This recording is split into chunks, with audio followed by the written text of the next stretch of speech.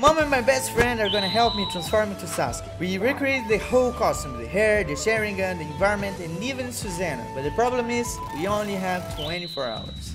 I started by creating a concept art, so everyone knew what to aim for. And I don't know if this looks good, but it's good enough for now. I did a very basic Sasuke, a cave, kind of, because it's easy to create caves in 3D. And Susanoo. Honestly, no idea how I'm gonna do that. But let's go. And using the drawing as reference, my mom started measuring me to create the costume using some old clothes that I had. I don't think she knows what she's doing, but neither do I, so everything is going as expected. Dracula costume, Sasuke costume I mean, is starting to come out. Finally, Chester was on the Susanoo mission, and it was starting to look cool very fast. Susanoo base is basically a skeleton with a horn and a very big chin. So he just used the skeleton he found online, and then it was almost done. No, no, I did everything myself. He's lying. At this point I started doing the environment. The reason I love creating caves is that you just have to find a bunch of random 3D scanned rocks and put them together until it looks good. Ladies and gentlemen, a cave. Then my mom started creating the bottom part of the vampire costume. Uh, I mean, it was starting to look like Sasuke already. Good job, mom. Good enough. The 24 hours will be split in 4 days. 6 hours each day, and at the end of each day one person will go out, leaving the last 2 days for me to finish everything by myself. And I have no idea how I'm gonna transform into Sasuke later on, with the Sharingan, chakra effects, Susanoo with the hair, oh I forgot the hair, oh my god, focus.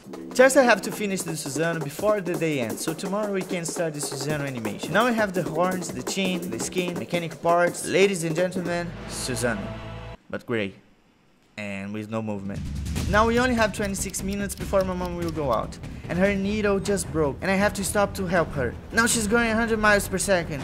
110% best costume maker in the world. And we finally have the Sasuke costume. Now we just need the environment. Oh my god, the environment! I have to finish the environment with some random lights and volumetrics. Everything looks better with the volumetrics. And I think this cave is 100% done. Now I just need to save it. And this happened. It seems fake, it looks fake, but it's not. My Windows just crashed. You couldn't handle the power of these the fingers. But seriously, if I don't fix it until tomorrow, it means I'll have to do the environment all over again. And we have so much more things to do. I don't have time for that, seriously.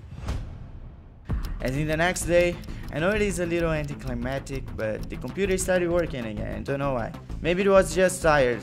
Thank you computer, I love you. And we had the environment again. Let's save in another drive before something happens. Now we are good to go. Finally, let's record the scenes. I'm just gonna adjust the lights with my very professional equipment. Come on, at least I have a green screen. And then I'm gonna wear this masterpiece my mom created. And with the lighting looking cool, I just have to think, what would Sasuke do with Susanoo around him? Smile in a sexy way, of course. Super sexy and dangerous. I can hear Naruto calling my name already. This is the result. Susanoo is supposed to look like he's made from energy, so this grey color is not gonna do it for me. Chester tried some shader options, opaque with shadows, with no shadows, but we need energy, but at the same time a little transparent, just like the enemy, and with fire, and also emitting light. I know exactly what reference I'm looking for. Just imagine a jelly had a baby with a jellyfish. Done. We have the Susanoo shaders. I already can feel the energy. Oh my god, Susanoo, don't look at me like that. But Susanoo frozen like this is not as scary as if he moves. So let's make it move. I have two options. The professional one, where I would animate every single bone in his body for every frame in the video until it looks good. That takes years to master. And we have the good enough option, where I would just capture my body movement in a VR headset and then transfer it to the Susanoo body. You already know which one I picked. And this is the Susanoo animation you didn't know you want it. You're welcome. End of day two. But even though I won the best looking guy in the world competition according to my mom, I'm not Sasuke's level yet. Now it's time to become sexy and dangerous, just like him. I started making my facial features more like his. That's it. Sexy. But not really dangerous yet. But I'll fix that while I talk to you about Honkai Impact 3rd with a little gift at the end, because the Sasuke transformation wouldn't be possible without them. In the latest version, 5.3, they have a new character, Carole Peppers. She's the striker for Schicksal's anti-Honkai 3rd squad. With her mechanical fists, the way she fights is totally unique and unlike anything you ever seen in Honkai Impact. You should learn a few moves from her, Sasuke. Also Herrscher from Flamescion, finally gotten her new outfit, Time Runner. I don't know about you guys, guys, but to me she looks amazing with these crystals. And look how beautiful she looks fighting. Maybe I should learn some moves from her for my next cosplays. And last but not least, Adult Bronya. She appears in the open world gameplay mode rather than as a character. In the post Honkai area, she looks so mature and cool, ready for anything. This I'm already good at, mature and cool. So go and download the game now to redeem the gift code for 30 crystals and 2888 asterites and a Herrscher trial card. Thank you so much Honkai for sponsoring this video. Very cool. And with this, I was already sexy. Just needed the dangerous part of it. And some blood and scars should help with that. That's it. Dangerous too. So now, I'll go to sleep because tomorrow I have to make Susanoo appear, Susanoo sword, Susanoo chakra effects, Sasuke hair, Sharingan, Sasuke chakra effects, more effects, oh my god. Okay, Chester's back.